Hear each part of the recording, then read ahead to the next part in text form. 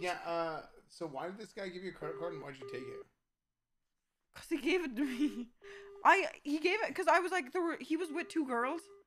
And he thought you were the third girl, so you a credit card. No, I bought I bought them drinks and then they came off. Are you a prostitute? Do you take? Hey, do you, do accept card? Why isn't she answering?